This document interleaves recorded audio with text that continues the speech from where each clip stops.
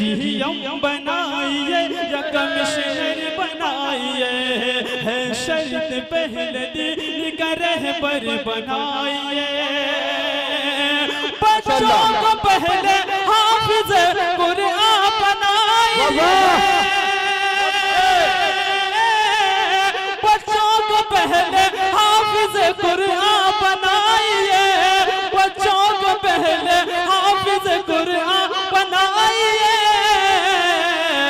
फिर जज बनाइए यकल की बनाइए फिर जज बनाइए। अरे वाह वाह वाह वाह। रिजवान साहब को दावत स्टेज देता हूँ कि आज जब हम लोग यहाँ तक पहुँचे हैं, ये सब उन्हीं की वजह से पहुँचे हैं। तो आइए मैं उनके बड़े ही अदब व एहतराम के साथ गुजारिश गुजार कर रहा हूँ कि वो आए और वो तशरीफ़ लाएँ। सौ चिराग जलाने के बावजूद, सौ चिराग जलाने के बावजूद आप, जब आप ना आए, उजाला ना हो सका। है यहाँ पे मौजूद हमारे मौलाना साहब और आलिमा जी और हमारे छोटे छोटे बच्चे और बच्चियाँ और हमारी बहनें। मैं सबका बहुत शुक्रगुजार हूँ जो आप लोग यहाँ से सुबह से मौजूद हैं और इन बच्चों का हौसला अफजाई कर रहे हैं।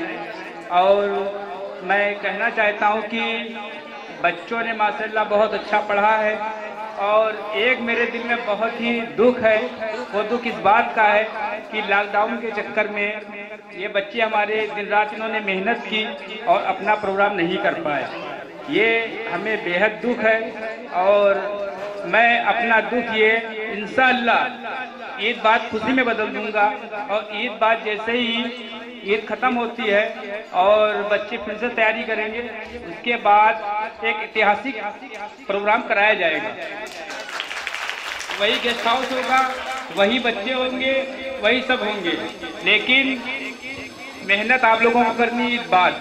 और दूसरी बात, मैं बच्चों से कहना चाहता हूँ कि हमारे मौलाना साहब ने बहुत मेहनत की है। हमारी आलिमा ने बहुत मेहनत की है। जैसा कि मदरसा बंद हो रहा है तो मैं ये चाहता हूँ कि आप लोग अपनी पढ़ाई घर पे पढ़ें। और जो मेहनत इन लोगों ने की है, इनकी मेहनत आप लोग खराब ना करें। तो इंशाल्लाह मेहनत करेंगे आप लोग।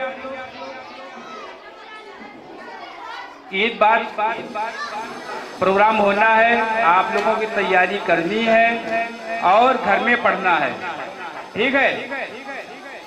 इंशाल्लाह, ईद बाद मदरसा नए सिरे से खुलेगा और मदरसे का नाम भी चेंज होगा, मदरसे की पढ़ाई भी चेंज होगी, पूरा मदरसा बिल्कुल अलग हो जाएगा। और बस आप लोग दुआ करते रहिए कि मदरसा इंशाल्लाह ईद बाद दो शिफ्टों में चलेगा। एक सुबह साढ़े आठ बजे से, जिसमें इंग्लिश, हिंदी उर्दू पढ़ाई जाएगी। दूसरा जो बच, जो, हमारी बहनें भाई बड़े बड़े स्कूलों में बच्चों को फ़ीस की वजह से नहीं भेज पाते हैं तो मेरी कोशिश यही है कि ईद बाद साढ़े आठ बजे से हिंदी इंग्लिश की पढ़ाई होगी। और दो बजे से जैसे मदरसा चलता है इंशाल्लाह वो मदरसा वैसे चलता रहेगा।